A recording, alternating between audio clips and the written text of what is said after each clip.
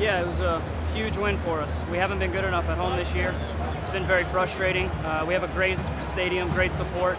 They deserve for us to win every game that we're here. In the first half, it wasn't good enough. So we got uh, we got pretty uh, pretty lambasted in the locker room by Mike, uh, which we deserved.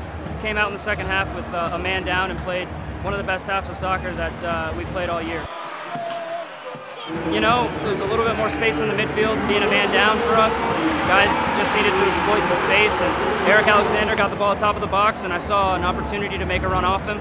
He had a great vision, great vision, laid it off to me. I needed to just get it on frame, and the keeper was off his line a little bit, so I figured I'd give it a shot, and sometimes you get lucky and they go in.